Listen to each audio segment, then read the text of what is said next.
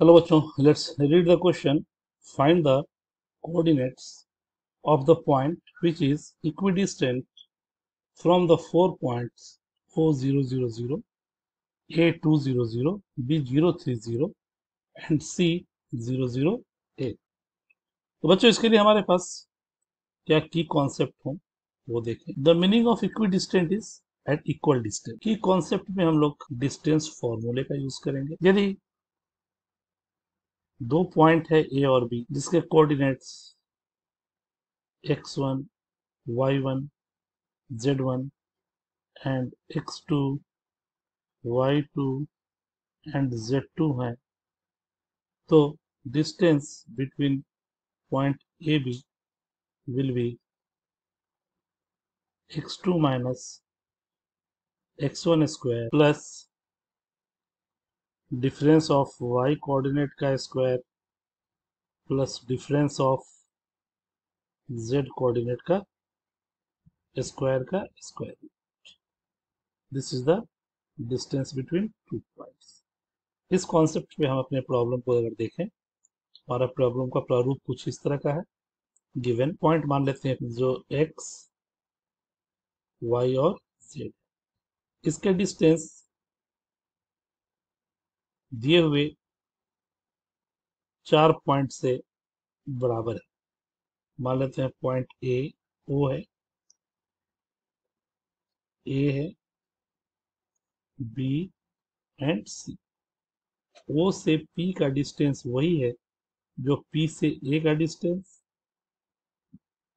P से B का distance and P से सी का डिस्टेंस। ये चारों डिस्टेंस आपस में इक्वल है। यानी according to question distance between O से पी ए से पी की दूरी बी से पी की दूरी और सी से पी की दूरी बराबर इसके स्क्वायर भी आपस में इक्वल होंगे।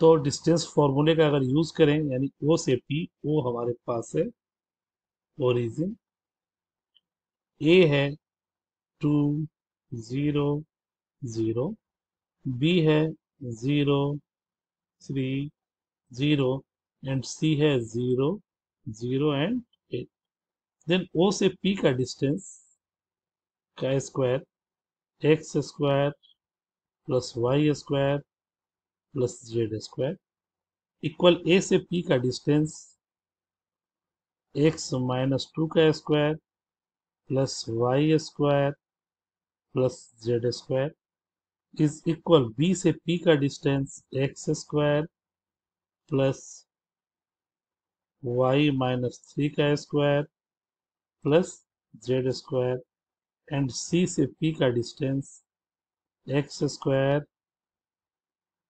plus Y square plus Z minus eight का होल स्क्वायर और हम बोल देते हैं this is one two 3 and 4 from 1 and 2 now from 1 and 2 x square plus y square plus z square equal x minus 2 का square plus y square plus z square यानी x minus two square y square plus z square the y square y square z square z square cancel and this becomes x square equal x square minus 4x plus 4 x square x square cancel and 4x becomes 4 thus the value of x becomes 1 now from 1 and 3 1 and 3 this becomes x square plus y square plus z square equal x square plus 3 is y minus 3 chi square. That is y square minus 6y plus 9 plus z square. This is y minus 3 the whole square. X square y square z square cancel and this becomes 6y equal 9 and the value of y becomes 3 upon 2. Now from 1 and 4, 1 and 4, this becomes x square y square plus z square equal x square plus y square plus z minus 8 का square that is z square minus 2 8 16 z plus 8 का square that is 64 this becomes x square y square z square cancel. And this becomes 16z equals 64 and the value of z becomes 4 therefore the point p is x y and z. Therefore the point p is 1 3 by 2 and 4 from where the distance of o and b and c will be the equal. Hope you will understood it well. Best of luck